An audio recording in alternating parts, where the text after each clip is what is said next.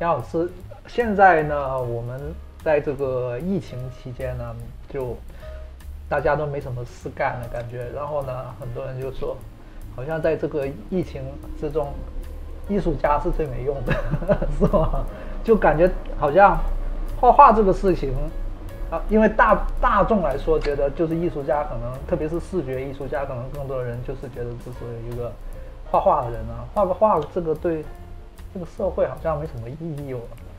呃，从某种角度来看呢，艺术家本来就没什么用，是吗？艺术家本来就没什么用。当然，我说的是从某种角度，比如说疫情为例，嗯，艺术家如果说做一点什么廉价的什么歌颂啊，嗯，其实没什么用。特别在这个因为病情的蔓延而形成一种普遍的压抑情绪的时候，你的你的这个创作或者你的这个作品不能舒缓这种情绪，而变成一种廉价的、浅薄的歌颂，适得其反。艺术家是没什么用。另外一个呢，我一直在强调一条。疫情当中，艺术家本来就没有我们所以为那么重要。但是如果说你在这当中还来趁机的说什么拍卖，啊，尤其要通过拍卖去抬自己画的价格，那就不仅是没用的，是有点无耻。但现在也没什么人买吧？我估计。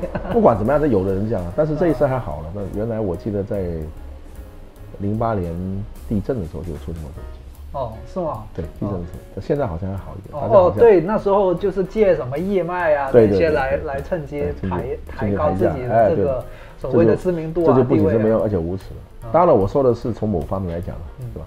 从另外一方面来讲呢，呃，艺术家其实很有用。为什么很有用呢？因为艺术家的能力不仅仅在于他为某些艺术的样式提供。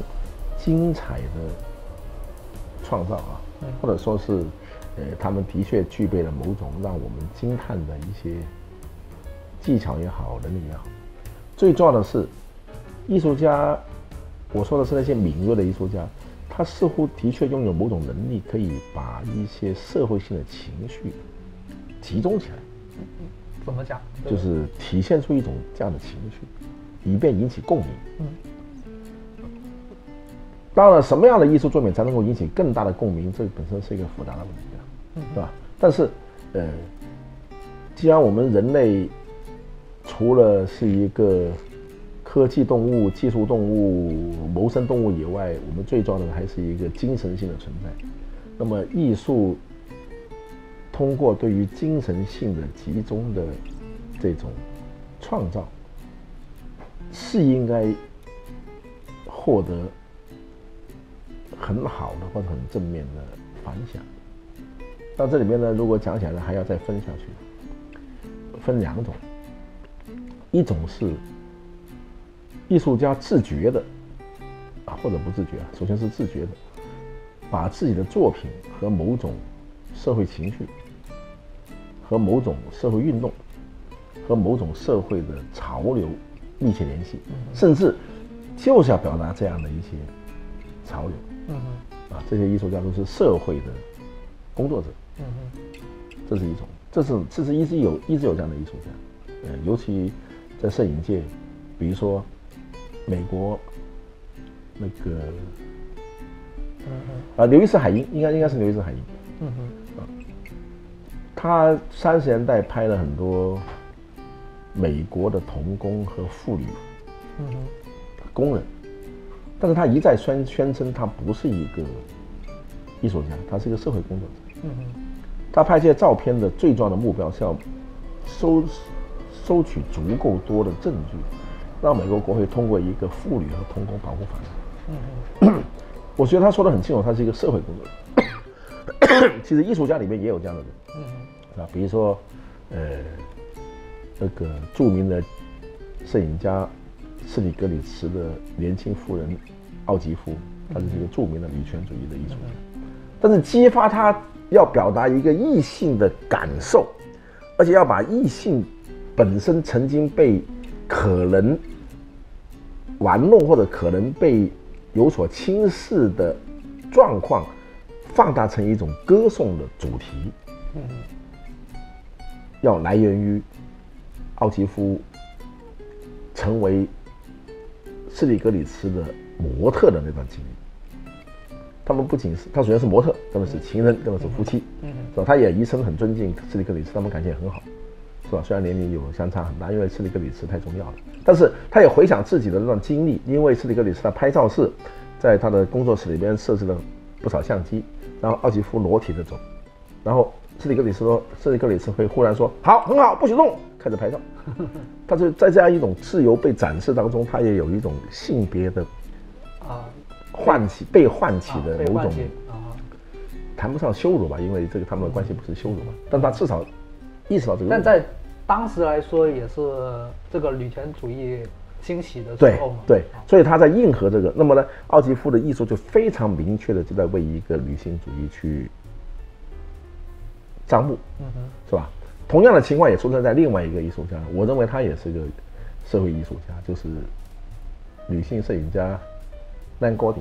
啊哈，兰高鼎五十年代出生的兰高鼎，出生在一个不幸的家庭，家庭，然后他很小就在街头流浪，等于说他这个跟街头的帮我们简单称之为可能是个小混混们混在一起，但他跟他们在一起玩，在一起经历了很多生离死别的另类生活。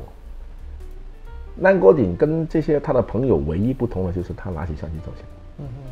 他其实从他的镜头我们知道他很爱这个，他也当然也对自己的经历也很有刻骨铭心的体验，他也一直很难克服他的吸毒的习惯，是吧？嗯那么他今天成为一个重要重要那么重要的艺术家，但是他成为艺术家不是他愿意的，他的目标其实就是说，我这些朋友们的经历很不平凡，他们也很多奇特的遭遇，也有由于各种各样的原因，可能很早就去世，我要把他们留下来。嗯而且他还拍自己，我非常佩服南国鼎拍的一批自拍照。我觉得这自拍照非常敏锐的告诉我，他非常明白自己的另类、边缘和屈辱的处境。嗯，其中有一张自拍照是很多很多女权主义者都要用的，就是被男朋友暴打，眼睛打肿了，站起来先拍照。这个照片是很多用的，是吧？呃，其实大家注意，不，这张照片因为他眼睛被打肿了，这个这个，所以大家就会有刺激感。其实他有一批自拍照拍得非常好，就是说对于自己的边缘状况的定义啊，我没想到如此的准确。嗯。那么从这个意义上来讲，他也是一个社会艺术。但是呢，这些艺术家呢，呃，像兰国鼎和前面那个刘易斯海因的一个区别呢，就是刘易斯海因很明确，他是一个社会工作者，他拍照是要收集证据，他拍童工，他拍报童，他拍妇女，也是女工，但是他的目的是要把这些照片作为证据拿到国会去。但是我们看到照片的时候，我们也不得不佩服刘易斯海因，他在镜头中传达的是一种尊严，嗯这个很重要。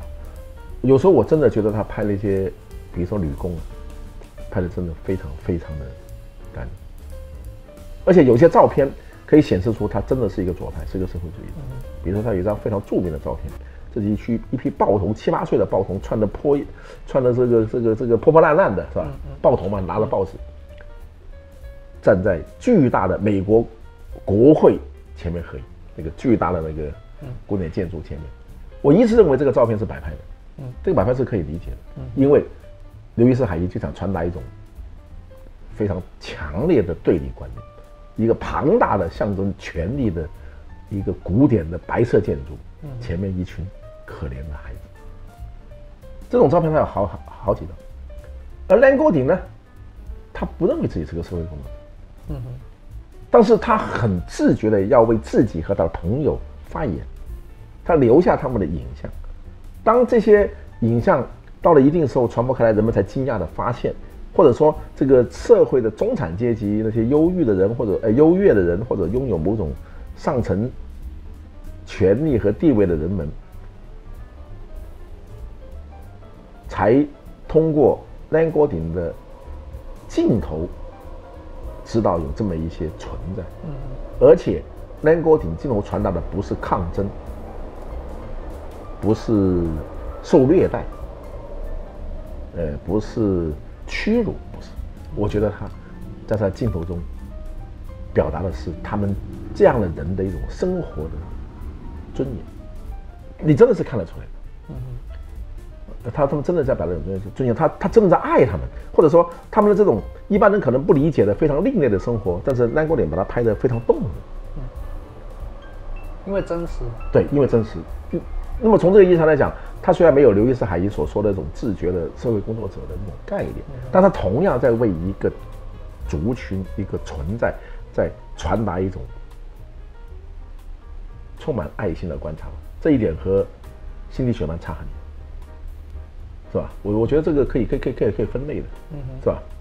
哦，呃，这个单锅顶这是一种，那么。这种传统其实是流传下来，我也认为他们是一些社会的艺术家。嗯哼，虽然他们不以社会为他们的一个传达的目标，是吧？嗯，但相对来说，会不会这一类的艺术家还是属于在艺术家群中还是属于少数？呃，准确来讲，呃。